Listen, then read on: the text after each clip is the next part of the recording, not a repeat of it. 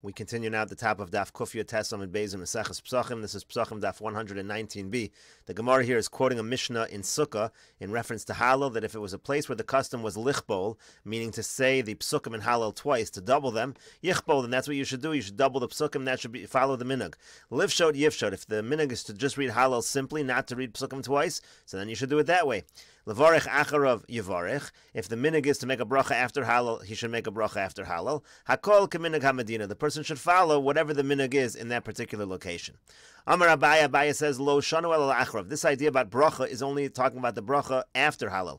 Avolafanav, but to make a bracha before one says hallel, mitzvah levarich. It's a mitzvah to make a bracha before hallel. The Amar Rav Yudah Shmuel, because Rav Yudah said in the name of Shmuel, Kol mitzvahs mevarich alein over lasiyasan. When it comes to all mitzvahs, a bracha should be made over lasiyasan, meaning before the mitzvah is done. My mashma dahai over lishna daktumehu. Where, where do we see, how do we know that the language of over, over lasiyasan, that it means beforehand? How do we know that word means before? So you should make the bracha before hallel. So the Gemara brings a number of proofs. Amar of Nachman bar Yitzchak, Rav Nachman bar Yitzchak says, Tichsiv is the pasuk says, Vayoratz achimatz derech hakikor, vayavor es hakushi achimatz ran by way of the plains and he passed up. He went before in front of the kushi. Abaye Amar mehacha. Abaye has a different source from here. V'hu avar lefneim. It says again he went in front of him. He went in front. He went in front of them. Iko diamri. Some say from the following proof mehacha from here. Vayavor malkam lefneim v'Hashem barosham. Again, their king went in front of them. So you see Vayavor with Lifnehem in front of them. So again, the idea of over is to be before.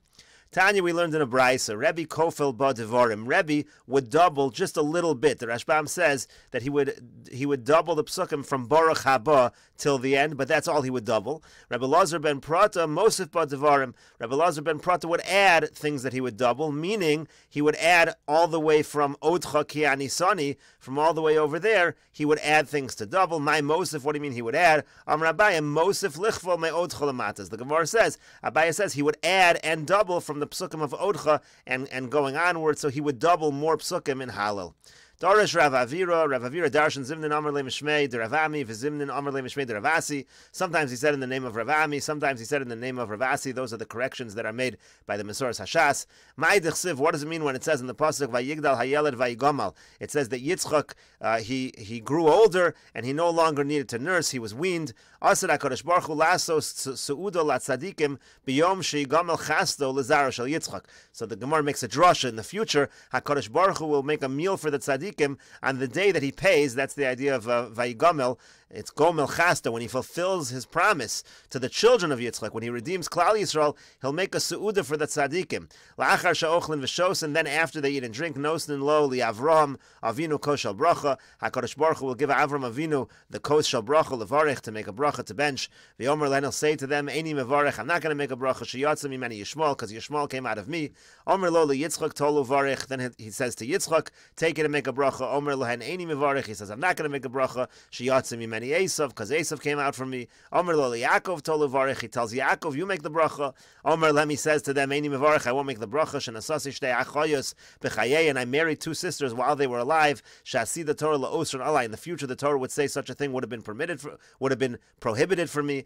Omer lo Moshe tolu He says to Moshe, make the bracha. Omer Lemi says to them, Eini mevarich, I'm not going to make the bracha. Shalo zachisi likonis l'Eretz Yisrael lo b'chayei v'lo b'mosi. I did not merit to enter Eretz Yisrael, not while I was alive, not after I died. I meaning I wasn't buried in Eretz Yisrael. Omer lo Yoshua. He says to Yoshua, Tolu make the bracha. Omer he says to them, Eini mevarech, I won't make the bracha. Shalo zachisi leben, because I was not zochet to have a son. Tichsiv, like it says, Yoshua bin Nun, Nun beno, Yoshua beno. When it's listing all of the descendants of Ephraim, it stops at Yoshua. Talks about Nun, talks about Yoshua, and then it stops. So apparently there was no son after Yoshua.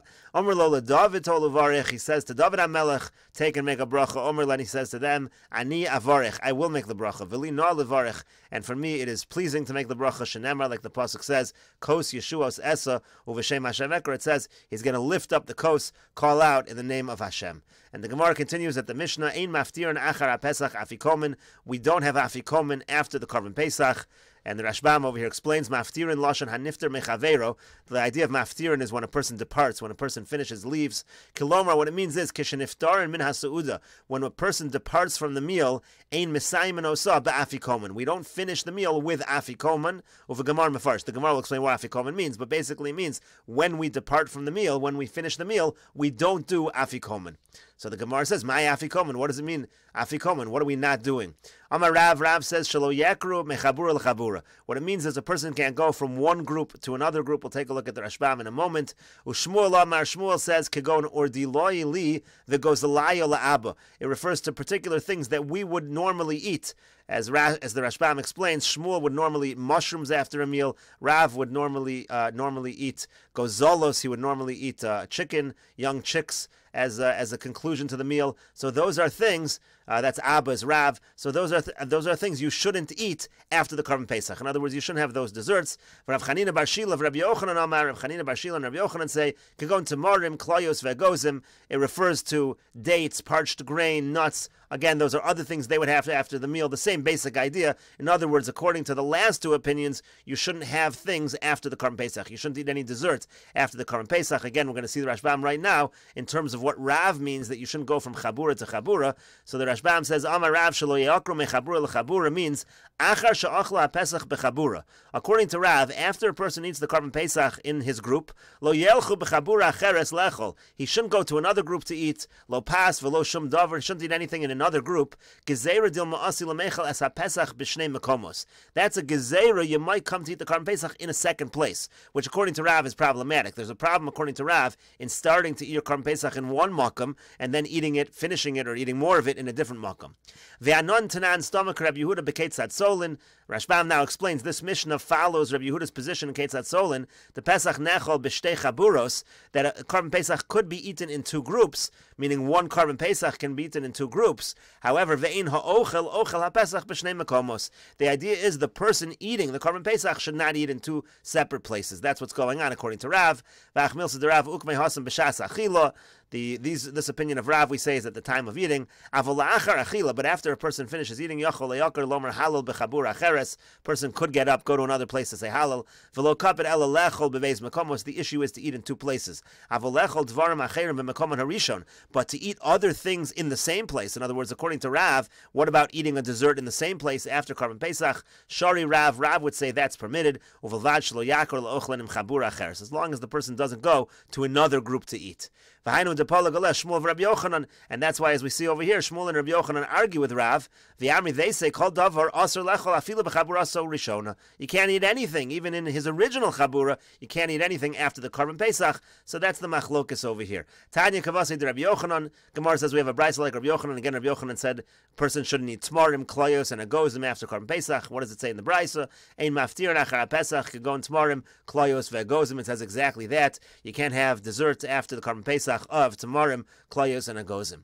Amar Rav Yudah Shmuel, Rav Yudah says in the name of Shmuel, Ein maftir achar matzah afikomen. You can't uh, have after you finish the matzah, meaning in a time when we're not bringing Karban Pesach, you don't have a Beis HaMikdash, so instead we have matzah in lieu of the Karban Pesach. You can't have anything after that as well So the Gemara now asks on this position from our Mishnah. It says Ein maftir achar haPesach afikomen. It says you're not allowed to have after the Karban Pesach food. Achar haPesach udelo avola achar matzah maftirin. It sounds like it's just a problem when you're eating the real Karban Pesach, but after matzah apparently you could have something. So the Gemara says not necessarily lomi boy kamar. Maybe the Mishnah means it's a lomi boy. Of course it's true by matzah as well, meaning lomi boy achar matzah. I don't even need to tell you after matzah to lo nafish tamaya because there the taste of matzah doesn't stay with you and you want the taste of matzah to stay in your mouth, if you're going to eat something else, the taste of matzah will be gone. That's for sure going to be a problem. But after the Karban Pesach itself, the Nofish time, which has a lot of time, even if I eat something after the Karban Pesach, I can still sense that I ate a Karban Pesach. Velo less Lanba. I might think, oh, maybe the, the taste is not going to go away. It's not a problem. Kamash Malon. That's what the Mishnah tells us that no, it's even a problem by Karban Pesach. So it's not necessarily a proof uh, from our Mishnah against what uh, Shmuel over here is saying. Uh, the Rashbam here explains in maftir nachar hamatzah afikomen shetzarich lechol matzah b'gmar sudaso zecher lematzah nechelas im hapesach bekricha. So we generally eat matzah. A person is required to eat matzah at the end of the meal. It's a remembrance for the matzah that's eaten with Karban Pesach. So that's what we're talking about over here in Maftir Nachar Matzah. V'zui matzah betzua sharu ochlin ba'achron l'shem chova. He says this is the matzah we eat at last as an obligation. V'al korcheinu anu mevarchen al achilas matzah barishona. But the Rashbam says we make al achilas matzah really at the beginning first. Afal pisha enu l'shem chova, even though that's not l'shem chova. Kedamar Rav Chisda le'el, like Rav Chisda said earlier, gabe morer. That's what he said by morer. L'achar shemilo kreso mimenu he chozer mevarech You're not going to eat it first and then make a bracha later when you've already eaten it before. Hilkach mevarech atarvayu bereisha v'hadarachal matzah b'achrona v'acharosa matzah in niftarin. So that's what we do. We eat matzah in the beginning, make a bracha, then you eat matzah at the end, b'achrona, and after that you don't have anything. Ein niftarin mimena b'achilas davar acher shalol l'shakech time. We don't, we don't want to forget the taste. Uva matzah is man hazeh ma'ir. We're talking about matzah nowadays the like a pesach bahada where there is no korban pesach with it.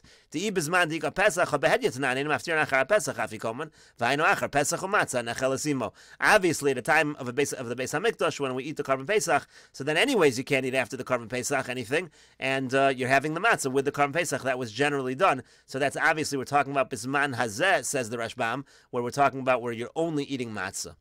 And the Gemara continues, name a Messiah. Let's bring a support for that which he says. It says over here, Hasufganin, Vahaduvshanin, Voeskaritin. Sufganin is like a sponge like matzah. Duvshanin is a sweet, sweetened with honey and oil, that kind of a matzah. Iskaritin is a kind of a wafer. So uh, all of those different kinds of, uh, of uh, foods, Adam, Memale, Kreso, Mehen, person can eat as much as he wants of those. But he should eat a kazayis of matzah at the very end. Ba'achrona in. He should only do that at the very end, and we'll continue with this discussion in the next video on Daf Kuf Chaf Amud Aleph.